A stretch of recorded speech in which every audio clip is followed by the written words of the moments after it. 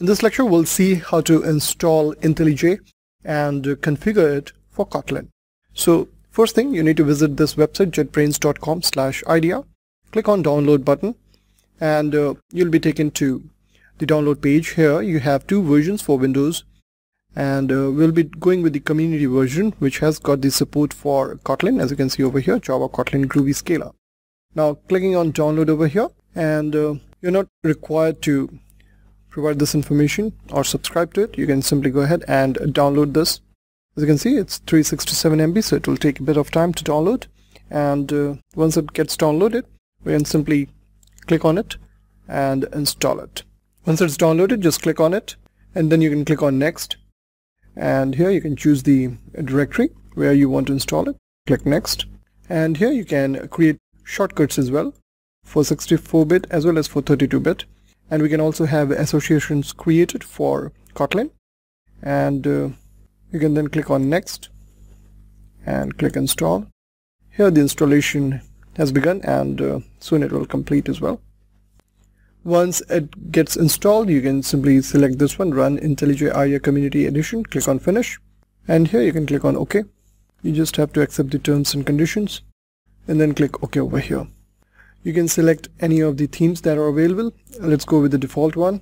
Click next to default plugins. Click next again and click here which says start using IntelliJ IDEA. You can click on create new project and here there are two options actually available. You can see Java with Kotlin JVM and then we have Kotlin itself which says Kotlin JVM, Java, script and multi-platform which is an experimental mode as of now. Let's go ahead and select Java and say Kotlin JVM.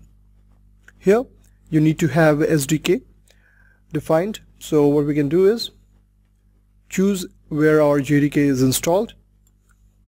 So you click new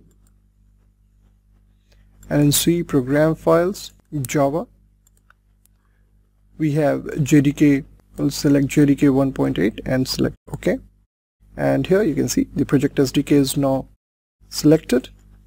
And the library Kotlin Java runtime is also selected by default. And uh, we just need to click next now. And here we can give our project a name. So here we have our Kotlin IntelliJ directory created. Click OK. And this is the name of our project. Click finish now. And you can close this step. Just zoom it a bit so here we have our project now. These are the libraries and here's our SRC directory. And these are the external libraries, the JDK and Kotlin Java runtime. And here you can add a new Kotlin file and give it a name. Let's call it as hello world. And here it's created now.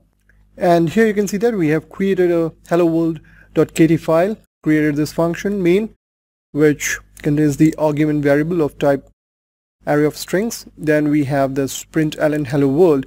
And when we execute it or ran it from the run menu you can select run. You can see that this is the output coming up hello world. You can also explore the Kotlin read evaluate program loop option by going to tools Kotlin and then selecting Kotlin REPL so here you can actually do all sort of things that Kotlin provides you like so I can declare a string over here. I'll run it. You'll see the output coming over here. As you can see it says control plus enter to execute. So I'll be saying 1 plus 2 and let's press control and enter. So here it will evaluate to 3 and similarly I can do other stuff like hello then concatenate it with another string world and then again press control enter and there you go.